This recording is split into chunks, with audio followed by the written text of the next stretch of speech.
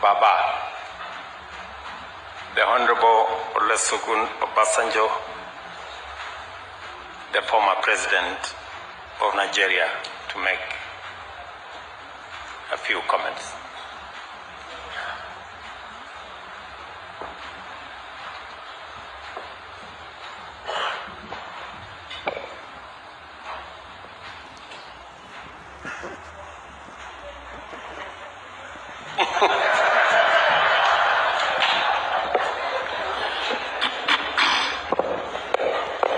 I am not as you think am.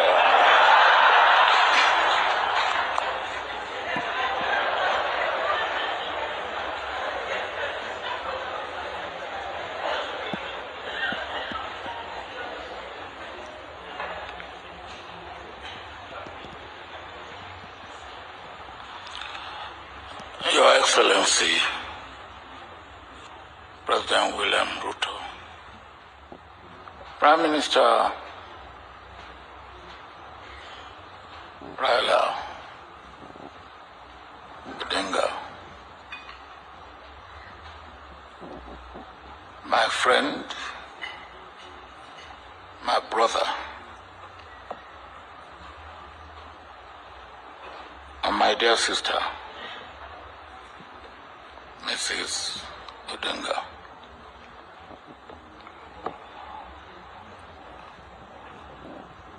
My dear colleague, President Kikwete, when you came in this morning, you wanted to sit where there was a flag. And I said to you, you and I are now men without flag.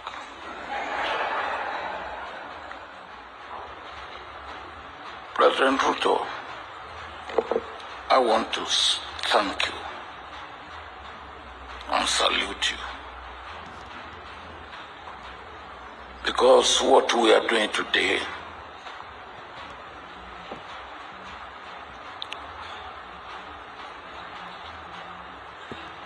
is unprecedented. We've never had occasion like this where we had a candidate and the candidate is giving so much support at home like you have given Raila. And not only that, not just making him a candidate of Kenya, but a candidate of East African community.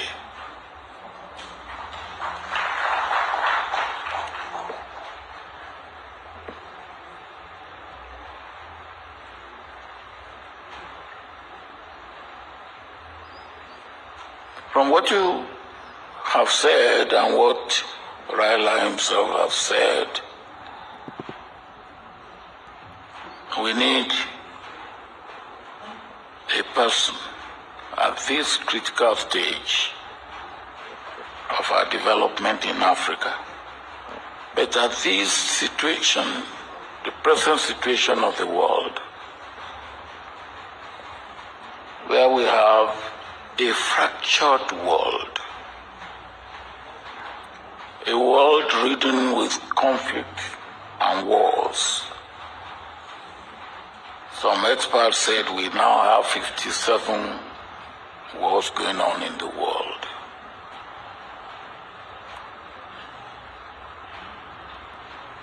A situation where war was going or war is going on in Europe. And we are suffering from hunger in Africa.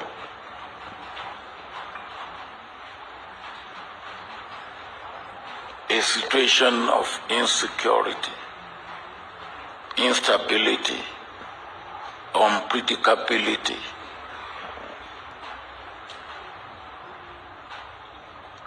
And instead of common security and shared uh, responsibility and shared prosperity, we are wallowing in poverty.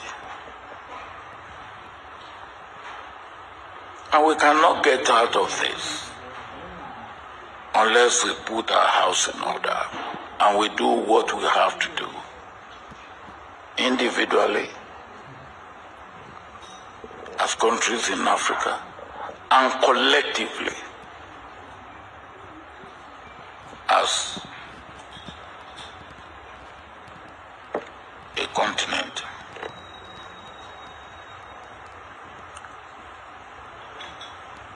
Ramin Raila said we will have AU visa. I'm waiting for it. And I will never stop asking you for it when you get there.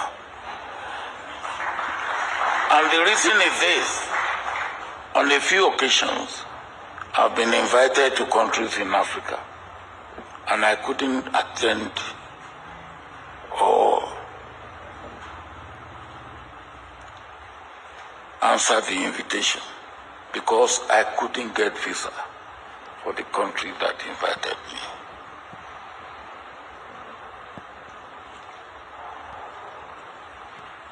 And as you rightly said, 35 visas to go through Africa.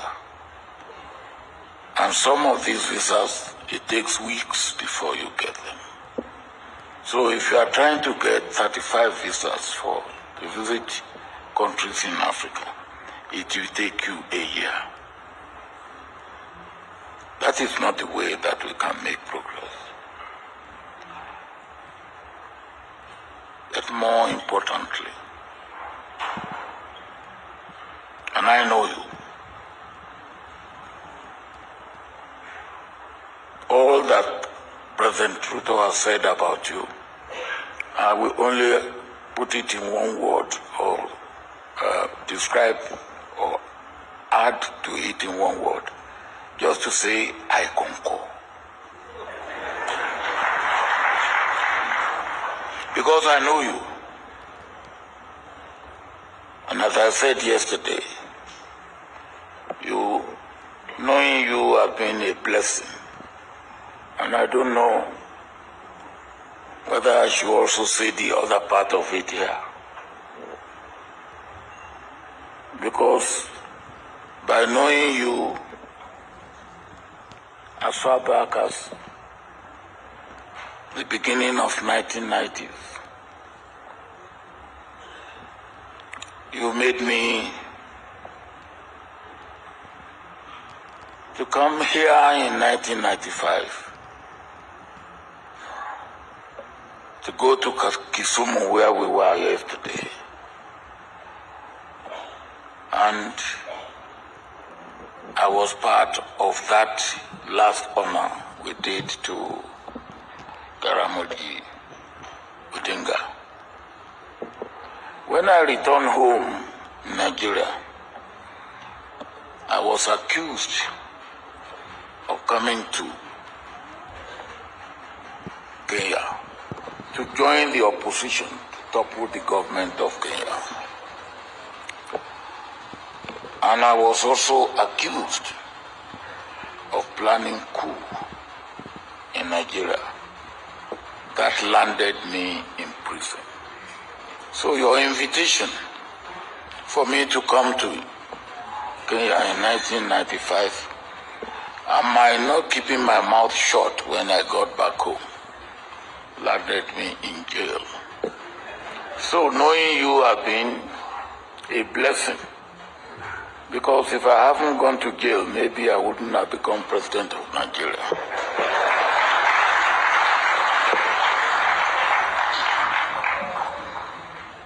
That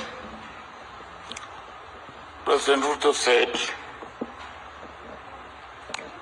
you will be making Africa proud and powerful. You are right, Mr. President. You will do more than that. You will make Africa proud You will make Africa powerful. You will make Af- Africa peaceful. And you will make Africa prosperous. We need it all. But you can count on our support. And you have seen it here. But what is going on today here also means extra responsibility on you and extra responsibility on us. Because if we have supported you and you get there, we have responsibility to make sure you succeed. We will do our part. We pray that God will make you do your part. Thank you. Thank you very much, Baba. Let me